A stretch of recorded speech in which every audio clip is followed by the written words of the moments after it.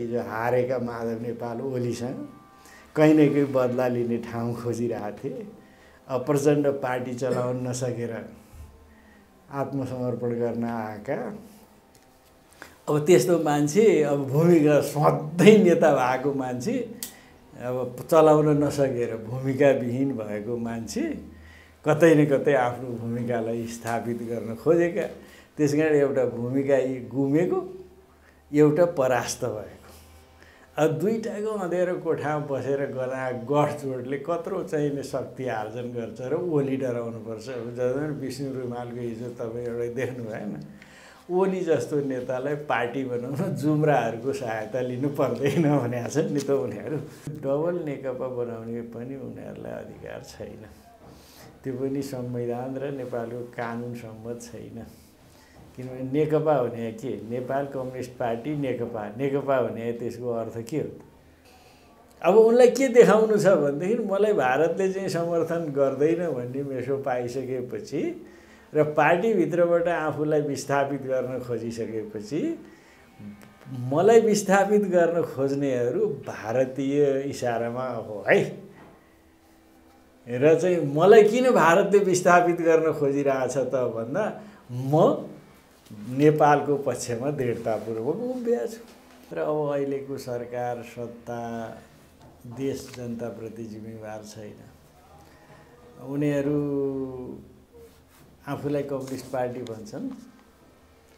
Communist पार्टीको आदर्श विचार सिद्धान्त सबै परित्याग गरेर साँचो अर्थमा भन्नुहुन्छ भने उनीहरूको मुख्य पेसा नै सत्ता कब्जा गर्नु। त्यसबाट अकुत रूपमा राष्ट्रको सम्पत्ति लुट्नु र व्यापक रूपमा चाहिँ नि मसल तयार गर्नु र फेरि कब्जा गर्नु फेरि लुट्नु।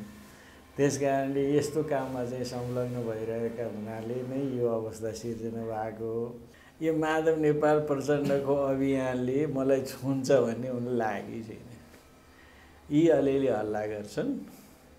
विचार दृष्टिकोण नीतिका आधारमा यी अगाडि बढेका छैनन् यिनका मुख्य काम पद प्रतिष्ठा प्राप्तिसँग जोडिया छ भागभन्डा खोजिरहेछन् हद्दो गऱ्यो भने एक दुईवटा भाग दिइदिनु पर्ला। होइन त्यहाँभन्दा माथि जानुपर्छ भने ओली र ओलीका पार्टीका मान्छेहरूले सोचेकै छैन। हामीसँग पनि कुरा हुँदा भन्दैन उहाँहरूलाई एक त अहिले नेपाल कम्युनिस्ट पार्टी भन्ने नैतिक अधिकार पनि छैन। किनभने जसले विचार छोड्यो किन बोकिरहेको थियो त्यही कुरा होइन? पुँजीवादमा पतन हुने पुँजीवादी पार्टी बनाएर गए भइगयो नयाँ काङ्ग्रेसका नाम राखेर भइगयो। कोही समाजवादी भनेको छन् कोही के भनेको छ त्यतै गएको बाटो चाहिँ नि त्यता लाग्ने नेपाल कम्युनिस्ट पार्टी भनिरहनु पर्ने उहाँसँग एक त नैतिक अधिकारै छैन।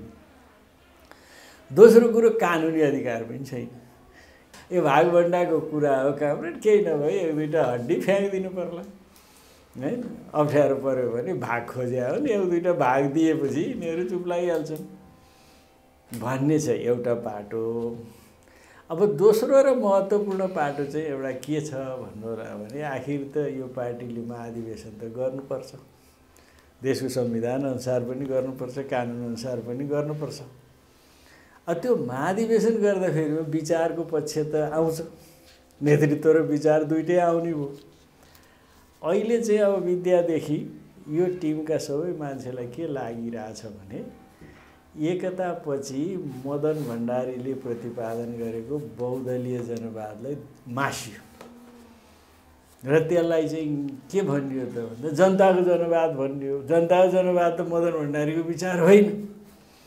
त्यस कारण अर्को पाटो पनि सँगै छ मदन भण्डारीको विचारको रक्षाको नाममा पनि उनी यो जनमतलाई म फेरि सँगै लान सक्छु पूर्व एमाले जनमतलाई भन्ने पनि छ। समाजको आवाज dot com. Nepal Communist Party नेकपाका संयोजक ऋषि कटेल सरलाई हाम्रो च्यानलहरूमा स्वागत छ। धन्यवाद। अब जनताले होइन यो अहिलेको अवस्थामा जिउने एउटा आश मारिरहेका छन् सरकारलाई त्यो कुराले छोएन होइन। राजनीति यस्तै क्रुर हुन्छ। राजनीति यस्तो क्रुर हुँदैन। राजनीतिक भनेको देश र जनताको सेवामा लाग्ने विषय हो। तर अब अहिलेको सरकार सत्ता देश जनताप्रति जिम्मेवार छैन। उनीहरू आफूलाई कम्युनिस्ट पार्टी भन्छन्। कम्युनिस्ट पार्टीको आदर्श विचार सिद्धान्त सबै परित्याग गरेर साँचो अर्थमा भन्नुहुन्छ भने उनीहरूको मुख्य पेसा नै सत्ता कब्जा गर्नु त्यसबाट अकुत रूपमा राष्ट्रको सम्पत्ति लुट्नु र व्यापक रूपमा चाहिँ नि मसल तयार गर्नु र फेरि कब्जा गर्नु फेरि लुट्नु। त्यस कारणले यस्तो काममा चाहिँ संलग्न भइरहेका हुनाले नै यो अवस्था सिर्जना भएको हो। त राजनीति गर्नु भनेको त जनता राष्ट्रको सेवामा समर्पित हुनु हो नि त त्यो त एउटा सेवाको लागि गरिने काम हो। तर अहिले त्यो पाटोमा छैन। राजनीति चाहिँ पेसा बनेको छ राजनीति चाहिँ शक्ति आर्जन गर्ने थलो बनेको छ राजनीति चाहिँ निजी स्वार्थ स्वार्थ सिद्ध गर्ने थलो बनेको छ। त्यसले गर्दाखेरि पनि यो अवस्था आइपुगेको हो। राजनीति त्यस्तो चाहिँ होइन। अब तपाईँ पनि होइन नेकपा यही पुरानो अहिले जो सत्ता छन् छ त्यसैबाटै नै तपाईँ आउनुभएको हो होइन। त्यहाँ आउँदाखेरि अहिले डबल नेकपा भन्ने गरिन्छ कि यसलाई? तपाईँले सिङ्गल नेकपा नदिएर हो भन्छन्। किन दिनु भएन? होइन दिनुपर्ने कारणै छैन। उहाँहरूले भन्दा अगाडि हामीले नेपाल कम्युनिस्ट पार्टी निर्वाचन आयोगमा दर्ता गरेको। त्यो दर्ता गर्ने छुट उहाँहरूलाई पनि थियो पहिला। निर्वाचन आयोगमा जब दर्ता खुल्छ त्यो बेला सबभन्दा पहिले त त्यो एमाले भन्ने पार्टी पुग्थ्यो तिनै बजी धर्ना कस्न हामीले त पैँतिस छत्तिस नम्बरमा दर्ता गरेका हौँ। अब अहिले उन उहाँहरूमा एउटा सत्ताको दम्ब देखा पर्यो कि हामीले भनेपछि कसले नदिने भने जस्तो। दम्ब शक्तिको आडमा चाहिँ लिन खोज्नु भएको थियो हामीले मन्जुर गरेनौँ। त्यसपछि निर्वाचन आयोगले पनि उहाँहरूलाई नेपाल कम्युनिस्ट पार्टी राख्ने कुरा मन्जुर गरेन। तर सरकारसँग प्रधानमन्त्रीहरूसँग डराएर एउटा भ्रमपूर्ण ढङ्गले भ्रम सिर्जना गर्ने नियत राखेर षड्यन्त्रात्मक रूपमा डबल नेकपा बनाएका छन्। त्यो डबल नेकपा बनाउने पनि उनीहरूलाई अधिकार छैन। त्यो पनि संविधान र नेपालको कानुन सम्मत छैन। किनभने नेकपा भने के? Nepal Communist Party Nekapa. नेकपा भने त्यसको अर्थ के हो? हाम्रो पार्टीको विधान जो चाहिँ निर्वाचन आयोगले स्वीकृत गरेका छ नेपाल कम्युनिस्ट पार्टी यसलाई छोटकरीमा नेकपा भनिनेछ भनेको छ। त्यस कारण ने नेकपा भनेको नेपाल कम्युनिस्ट पार्टी हो। त्यो ने Nepal Communist Party Nepal Communist Party भन्नुको अर्थ के हुन्छ? भने त्यो भ्रम सिर्जना गर्ने मान्छेहरूलाई भ्रमित बनाउने दुर्नियतबाट प्रेरित छ। त्यसको विरुद्धमा हामी सर्वोच्च अदालतको मुद्दामा छौँ। सर्वोच्च अदालतले पटक पटक पटक पटक पेसकी सारिरहेछ कता यस्ता कुरा सुन्नमा पनि आएको छ। उनका वकिलहरूले सार्न लगाइराखेका छन् अरे। किनभने अब यो पार्टीभित्र अहिले विवाद चरम छ। यो पार्टीको एकता बच्छ बच्दैन थाहा छैन। अब पार्टी एकता बचेन भने उनीहरू नेकपा नेकपा भनेर बसिरहनुवाला पनि छैन। त्यस भएको हुनाले अहिलेसम्म यसलाई चाहिँ प पछाडि धकलियोस् भन्या छन् अरे भन्ने सुन्छु र त्यही अनुसार मुद्दा फैसला पनि भएको छैन। अब यी होइन नेताहरू अहिले जति पनि छन् सत्तापक्षमा होइन उहाँहरूको चरित्रहरू व्यवहारहरू त तपाईँले सबै बुझ्दै आउनु भएको हो। त्यही भएर हो नगएको यो अवस्था आउँछ भनेर नै नदिनु भएको हो कि कस्तो? होइन अब म पनि नेपाल कम्युनिस्ट पार्टी कम्युनिस्ट आन्दोलनमा लागेको झन्डै पचास वर्ष अब बितिरहेछ। तलदेखि काम गर्दै आएको। पछिल्लो कालखण्डमा सत्तालिस सालमा आएपछि नेपाल कम्युनिस्ट पार्टी एमाले हामी मिलेर बनायौँ। दुईवटा धाराहरू मिलेर। माले र मार्क्सवादीका दुईवटा धारा मिलेर नेपाल कम्युनिस्ट पार्टी एमाले एकीकृत मार्क्सवादी लेनिवादी बनायौँ। हामी त्यहीँ काम गर्दै थियौँ। अब त्यही क्रममा दुई तिनवटा घटनाहरू भए। मदन भण्डारीको नेतृत्वमा एउटा उन्चास सालको पाँचौँ महाधिवेशनमा जनताको बहुदलीय जनवाद नाम गरेको कार्यक्रम पास गराएर नेपालको जनवादी क्रान्तिको बाटोलाई सिद्ध्याउने काम हो र यथास्थितिवाद खास गरी संसदीय पुँजीवादमा वैचारिक र कार्यक्रमिक रूपमै पार्टीलाई विसर्जन गर्ने काम हो। त्यसको विरोध हामी एकातिर गरिरहेकै थियौँ। सँगै मदन भण्डारीको मृत्युपछि तत्कालै मदन भण्डारी मारिए वा मरे। अब त्यसपछि केही समय एउटा रिक्तता आयो। त्यसको लगत्तै राष्ट्रघाती महाकाली सन्धि हो। होइन एमालेकै पहलमा यदि एमाले त्यो राष्ट्रघाती महाकाली सन्धिमा सहमति नजनाएको भए दुई पास हुने सम्भावना छँदै थिएन। हामीहरूले ठुलो विरोध गऱ्यौँ। व्यापक सङ्घर्ष भयो। सायद नेपालको इतिहासमा पछिल्लो कालखण्डमा वामदेवहरू हारे फर्किए त्यो अर्कै कुरा होला। तर आजित भएर फर्कियो होला तर चाहिँ राष्ट्रियताको बारेमा सङ्घर्ष गर्दै पार्टी विभाजनको तहमा पुगेको चाहिँ नेपालमा पहिलो नै हो त्यो। त्यो स्तरको सङ्घर्ष हो तैपनि राष्ट्रघाती महाकाली सन्धि पास गरेरै छोडे। जसको परिणाम तपाईँ हामी अहिले भोग्दैछौँ। संसदले चाहिँ नि महाकालीको परिभाषा गरेनन् महाकालीको उद्गम स्थलको परिभाषासम्म नगरिकन पास गर्यो। जुन महाकाली भारतले चाहिँ नि किर्ते नक्कली महाकाली बनाएर ल्याएको थियो त्यसैलाई ओके गर्ने ढङ्गले पास गर्यो। आज चाहिँ नि तपाईँ हामी हाम्रो अखण्डता माथि प्रश्न उठेको छ र एउटा नयाँ सिराबाट सङ्घर्ष गर्नुपर्ने ठाउँमा पुगेका छ।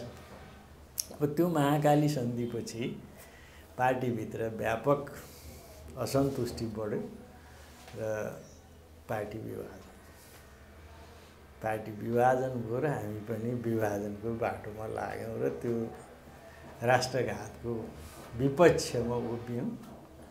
तर पछिल्लो कालखण्डमा चाहिँ नि वामदेवजीहरू टिक्नु भएन फर्काउनु पऱ्यो। हामी निरन्तर त्यसको विपक्षमा नै काम गरिरहेछौँ।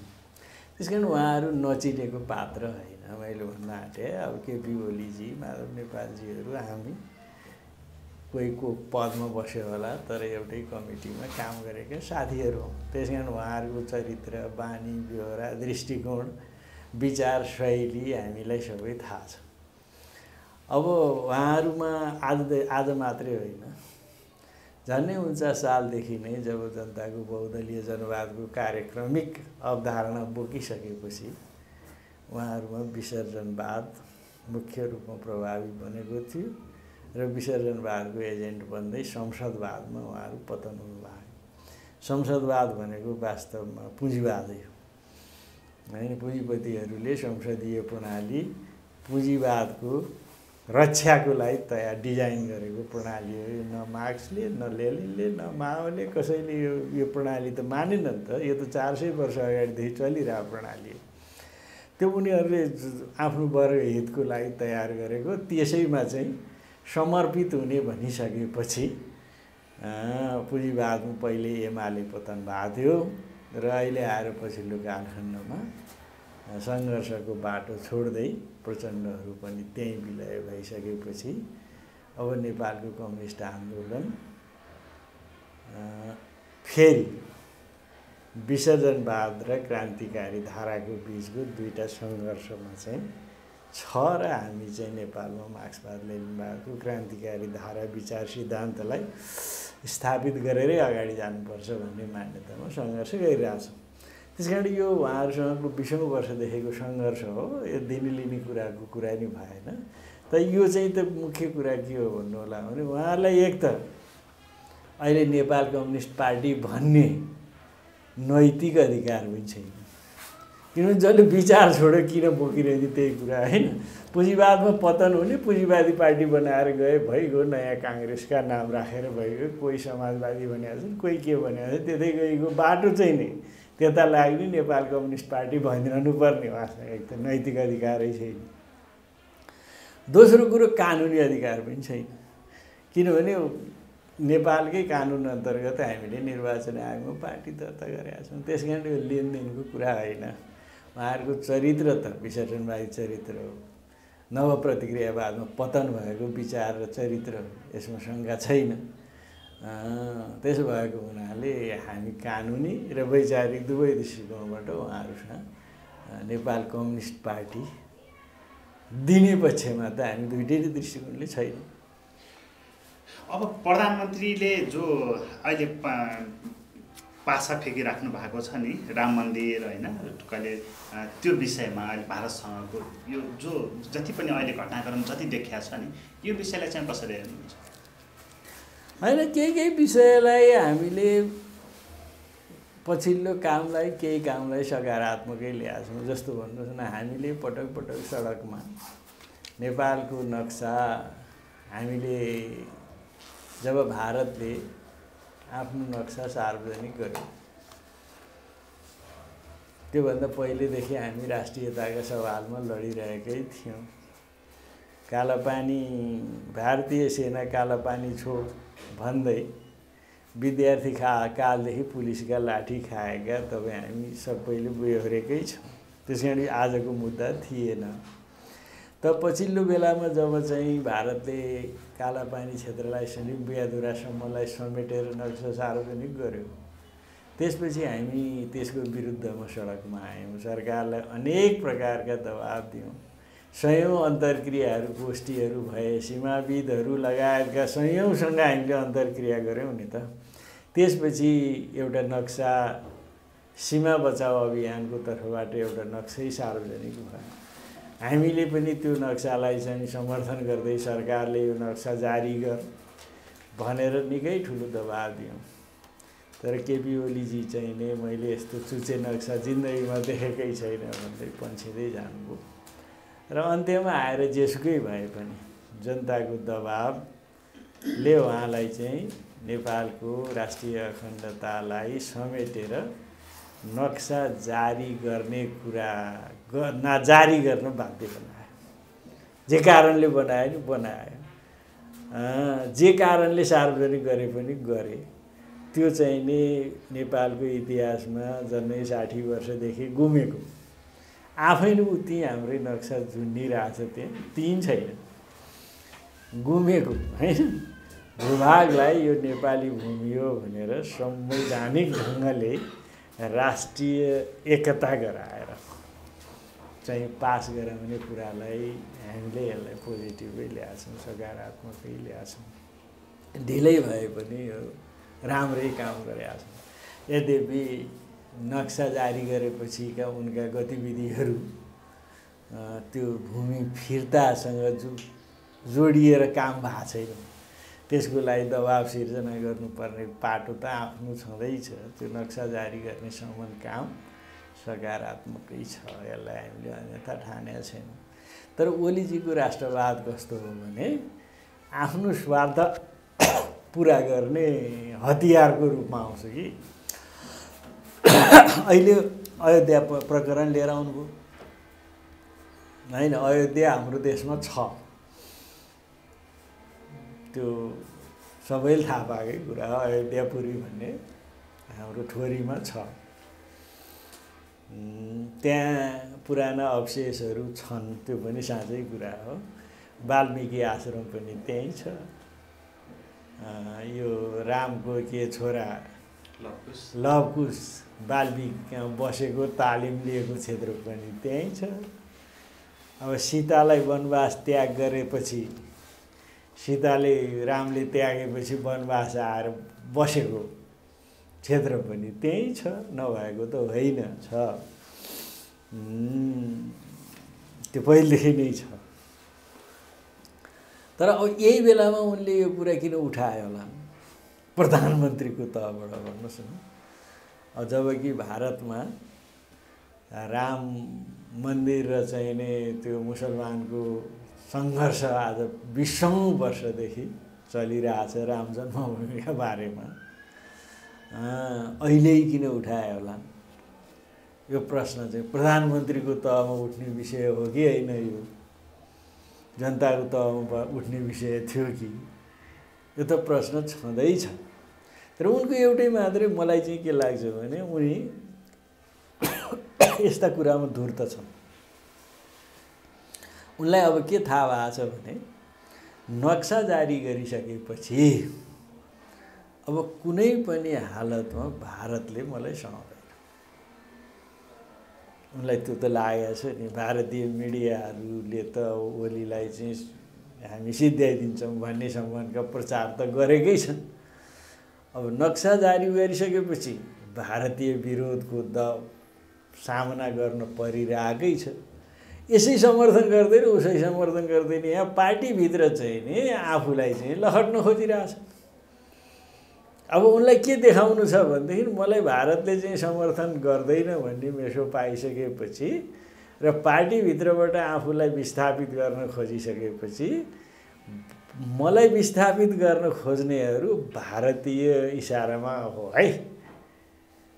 र चाहिँ मलाई किन भारतले विस्थापित गर्न खोजिरहेछ त भन्दा म नेपालको पक्षमा दृढतापूर्वक उभिएको छु। त्यसले गर्दा नक्सा सार्वजनिक गरेँ। अब यो यो अयोध्या प्रकरण त्यो नक्सा त अलिअलि सेलाइरहट बेला त्यो वार्ता नि हुँदैन केही नि हुँदैन। अब अर्को बखेडा झिक्दिएर अयोध्या प्रकरण निकालिदिए जसले चाहिँ उहाँ के चाहिरहेछन् ओली भने भारत यसै एन्टिगोनाइज भएको छ रिसाएको छ अरू रिसाए नि केही फरक पर्दैन। तर चाहिँ भारत विरोधी जो जनमत छ नेपालको त्यो जनमत चाहिँ आफ्नो पक्षमा कायम रहिरहोस् भनेर उनले फ्याँकेको एउटा तुरुप हो यो। त्यस कारण उनी यस्ता यस्ता कुरामा खेलाडी नै छन्। पहिले पनि तपाईँ हेर्नुहोस् न भारतले नाकाबन्दी गरे त सुशील कोइरालाकै पालामा हो नि। तर नाकाबन्दीसँग जुधेको मेरो पालामा नाकाबन्दी गऱ्यो भने जुधेको चाहिँ को भयो त भने केपी ओली। र त्यही राष्ट्रवादको पगरी गुथेर चाहिँ उनले चाहिँ अहिले यत्रो मत लिएर आए भन्ने छ। त्यस कारणले उनको यो एउटा चाहिँ आउँदो दिनमा नेपाली देशभक्तहरूको जनमतलाई फेरि पनि आफ्नो पक्षमा पार्ने चाहिँ एउटा खेल हो यो। अब यो एन्टी इन्डियन सेन्टिमेन्ट पनि भनौँ होइन यसलाई। त्यो बटुलिराखेको कारण पार्टी फुटायो भने पनि म आफ्नो पार्टीलाई पूर्व अब जस्तो अहिले नेकपा एमाले जो दर्ता भएको छ नि होइन प्रधानमन्त्रीकै निर्देशनमा भनिन्छ त्यो पार्टीलाई अगाडि बढाउन म सक्षम हुन्छु भन्नको लागि हो यो सबै तिग्रमबाजी होइन त्यो पनि होला तर उनलाई अहिलेसम्म कुनै यस्तो विश्वासै छैन। मलाई के लाग्छ भने उनी र उनी नजिकका मान्छेहरूसँगको कुरा सुन्दा बस्दा कुरा गर्दा यो माधव नेपाल प्रचण्डको अभियानले मलाई छुन्छ भन्ने उनलाई लागेकै छैन। यी अलिअलि हल्ला गर्छन्। विचार दृष्टिकोण नीतिका आधारमा यी अगाडि बढेका छैन यिनका मुख्य काम पद प्रतिष्ठा प्राप्तिसँग जोडिया छ भागभन्डा खोजिरहेछन् हद्दो गऱ्यो भने एक दुईवटा भाग दिइदिनु पर्ला। है त्यहाँभन्दा माथि जानुपर्छ भने ओली र ओलीका पार्टीका मान्छेहरूले सोचेकै छैन। हामीसँग पनि कुरा हुँदा भन्दैन यो भागभन्डाको कुरा हो काम केही नभए एक दुईवटा हड्डी फ्याँकिदिनु पर्ला। है अप्ठ्यारो पऱ्यो भने भाग खोज्या हो नि एक दुईवटा भाग दिएपछि यिनीहरू चुप लागिहाल्छन् भन्ने छ एउटा पाटो। अब दोस्रो र महत्त्वपूर्ण पाटो चाहिँ एउटा के छ भन्नु भने आखिर त यो पार्टीले महाधिवेशन त गर्नुपर्छ। देशको संविधान अनुसार पनि गर्नुपर्छ कानुन अनुसार पनि गर्नुपर्छ। त्यो महाधिवेशन गर्दाखेरि विचारको पक्ष त आउँछ। नेतृत्व र विचार दुइटै आउने भयो अहिले चाहिँ अब विद्यादेखि यो टिमका सबै मान्छेलाई के लागिरहेछ भने एकतापछि मदन भण्डारीले प्रतिपादन गरेको बहुदलीय जनवादलाई मासियो। र त्यसलाई चाहिँ के भनियो त भन्दा जनताको जनवाद भनियो। जनताको जनवाद त मदन भण्डारीको विचार होइन। त्यस कारण अर्को पाटो पनि सँगै छ मदन भण्डारीको विचारको रक्षा। को नाममा पनि उनी यो जनमतलाई म फेरि सँगै लान सक्छु पूर्व एमाले जनमतलाई। भन्ने पनि छ। एउटा राष्ट्रवादको आड एउटा चाहिँ मदन भण्डारीको विचारको आड अब तेस्रो राज्य सत्ताको आड। त्यस कारण उहाँहरूको चाहिँ त्यो अलिअलि विरोध बार्गेनिङको लागि हो भन्ने मात्रै तहमा ओलीजीको बुझाइ छ। त्यस कारण अहिले माधवजीहरूले भने जस्तो पार्टी फुटाउन लाग्यो के गर्न लाग्यो कु गर्न लाग्यो भनेर जो प्रचार गरिँदैछ ओलीको क्याम्पमा त्यसले छुवाएकै देख्दिनँ म यसो ओलीका क्याम्पको मान्छेहरूसँग कुरा गर्दा।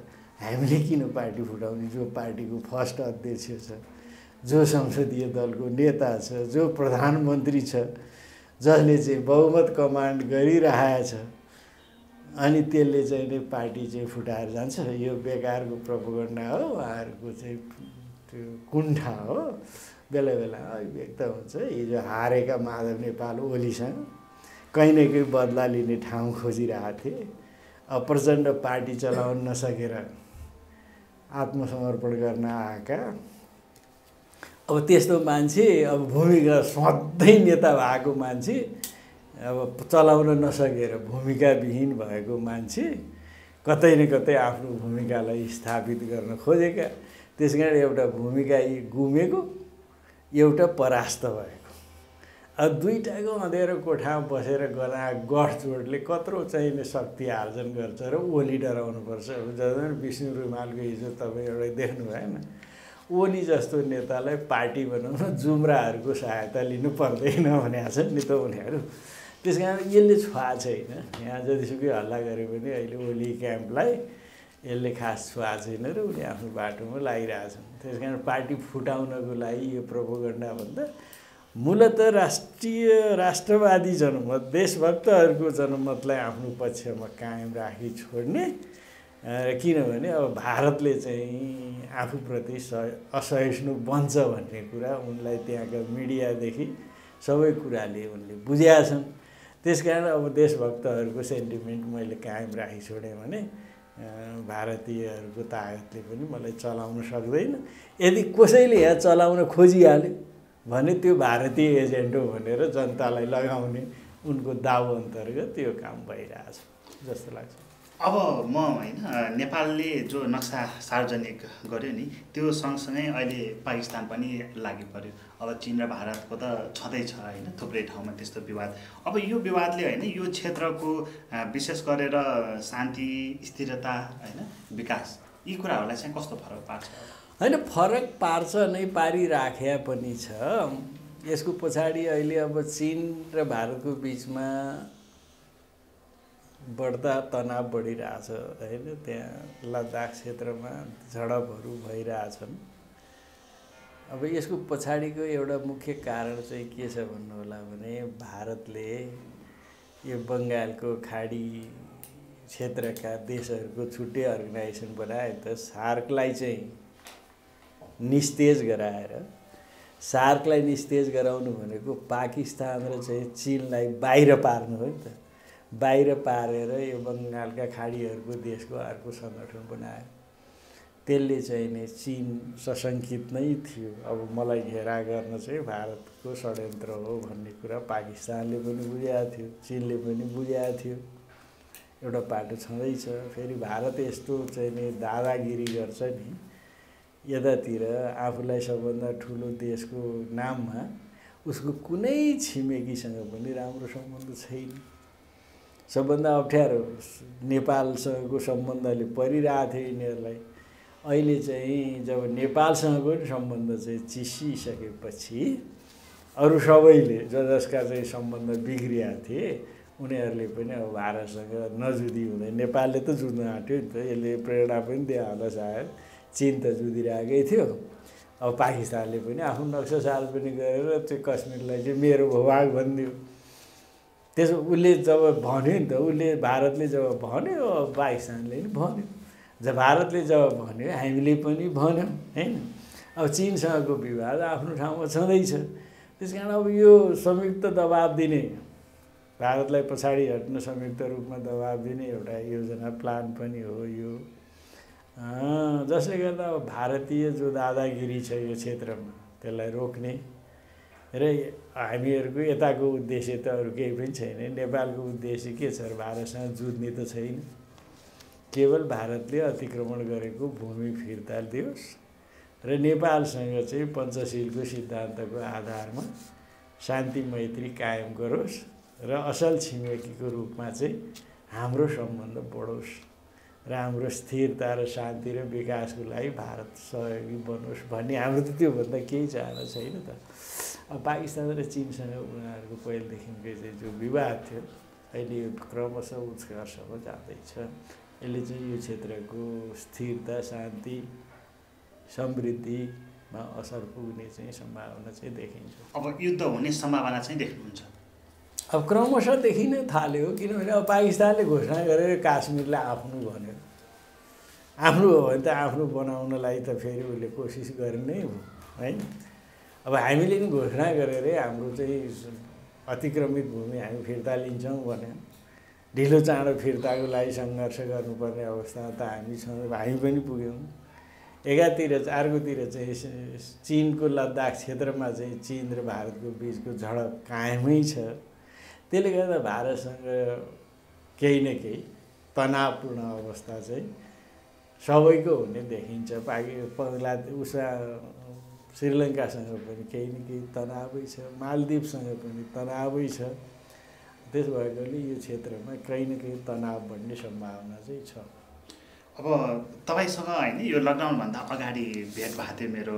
त्यतिखेर राष्ट्रिय सम्मेलन जनकपुरमा भन्ने कुरा थियो। त्यति तपाईँको त्यो राष्ट्रिय सम्मेलनभन्दा अगाडि नै लकडाउन सुरु भइहाल्यो।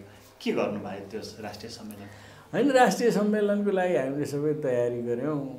आखिर चाहिँ स्थगित गर्न बाध्य भयो। अहिले स्थगितमा छ राष्ट्रिय सम्मेलन। अलिकति अनुकूलता हुन साथै हामी आफ्नो राष्ट्रिय सम्मेलनका कामलाई अगाडि बढाउँछौँ। सम्भवतया अब दसैँसम्म खासै सोचिएको छैन। अब विशेषज्ञ डाक्टरहरूको यसो कुरा सुन्दा अब मङ्सिरसम्म नै हामीले हामीहरूले यो कोरोनाको कहरबाट गुज्रनै पर्छ।